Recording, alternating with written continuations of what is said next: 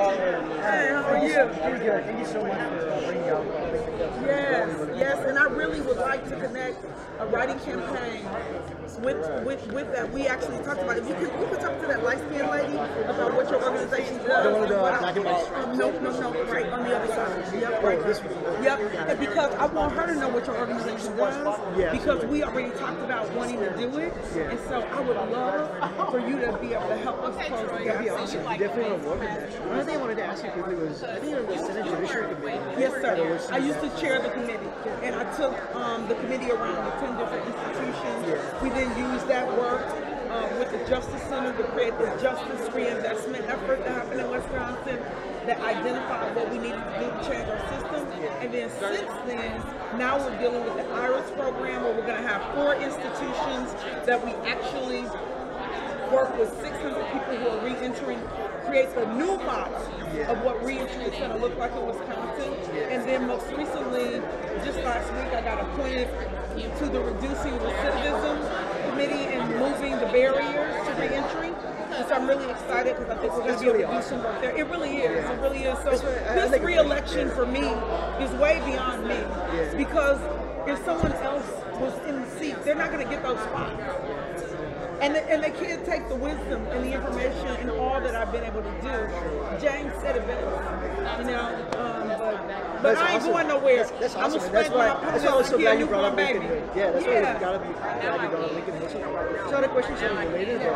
Is like right now, uh, like you know, people are like they're striking on Columbia. Green Yes, so we've been engaged in that, myself and Representative Evan Goyke. Yeah. We actually wrote a letter. We also talked to DOC to ask them to make sure that they were at least, you know, drinking water, to monitoring Exactly, them yeah. and that kind of thing. Yeah. So since they wouldn't buy the bottled water for them, since it was contaminated, we just spoke last week about connecting with them and say, well, can we send bottles?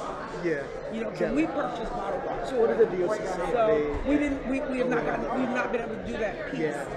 But after that, the next thing that we're forced to. So we've not been able to make that connection Yeah. since we spoke. I think it was last week.